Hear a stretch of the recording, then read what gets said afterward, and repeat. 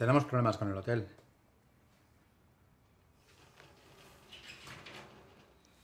¿Qué hotel? El hotel de París no quedan habitaciones. ¿Y las cadenitas de oro? Están dentro, ¿Dentro? ¿Dónde? encima del mueble. ¿Me, me estás escuchando? Sí, que tenemos problemas con el hotel. ¿Qué quieres que yo le haga?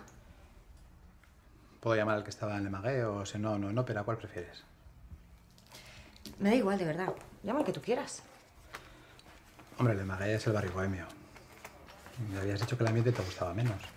Pues llama al otro. Tampoco estamos para escoger, ¿no? En ópera tienes muchas tiendas buenas. Pues ya está. Voy a recoger al niño. ¿Tan pronto? Sí, se ha levantado algo revuelto. ¿Le pusiste el termómetro? Y no tenía fiebre. Pues no será nada. Bueno, no sé, ¿eh? no ha dormido bien.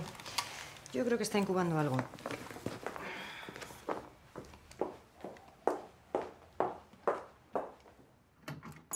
Bonjour. Je voudrais réserver une chambre de 24 en 7. Oui, oui.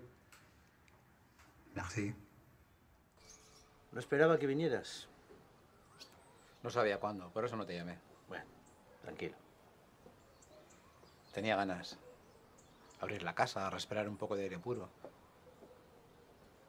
Me alegra verte. A mí también. La semana pasada estuvo Paula en la joyería. Ya me dijo que estaba viviendo con su madre. ¿Cuándo lee la tesis? Pasado mañana. Seguro que la defiende muy bien. ¿No habéis hablado?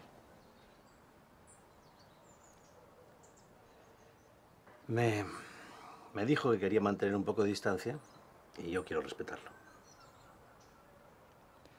Esa niña te adora. Lo está pasando mal. ¿Y tú cómo estás? Lo he estado pasando mal con la novela, pero creo que ya le he cogido el pulso. Estoy bien. Hay cosas de las que estoy muy satisfecho. Creo que estoy haciendo algo interesante. Seguro. Bueno, el cuadro, ¿me lo vas a enseñar? ¿Quieres verlo? Claro.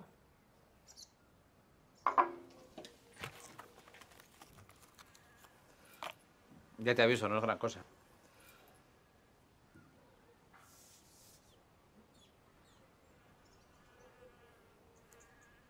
Qué bonito.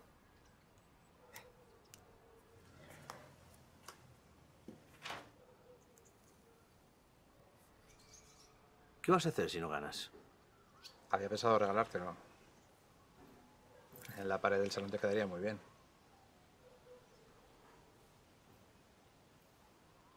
¿Sabes? Siempre me ha dado apuro enseñar lo que pinto. Y a ti más. ¿Por qué? Porque eres un genio. Eso es un accidente, hombre.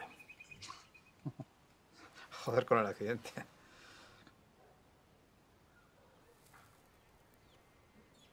Lo importante no es ser un genio. El arte es de todos los que no pueden vivir sin él.